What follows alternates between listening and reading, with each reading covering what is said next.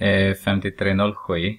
Efter sommaren svarade ett antal studenter på frågan hur mycket tjänade du på, på ditt sommarjobb? Resultatet ser du i histogrammet. Så ser ni den där eh, figuren här. Eh, hur mycket tjänade mellan 5000 kronor och 10 000 kronor? Okej. Okay. Så hur många? Så vi säger mellan 5000 till 10 000, så här är det. Där. Det är. I ANO så får vi 20 stycken.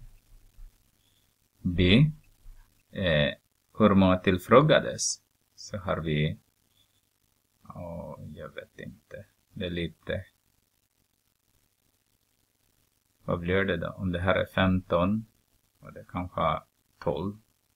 Så har vi 12 stycken där, har vi 20 där, har vi 25 där, eh, 10 där. Sen här kanske är 3.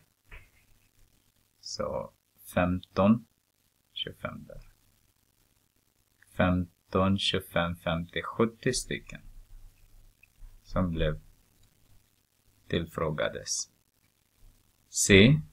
Hur stor andel tjänade mindre än 10 000?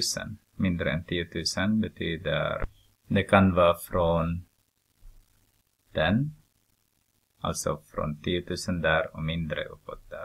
Så om vi har 20 där och vi har 12 där så har vi 32 av 70.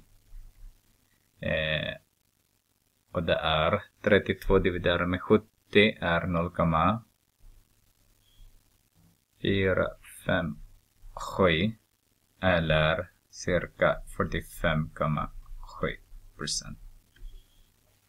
Det är ganska många som tjänade mindre än 10 000.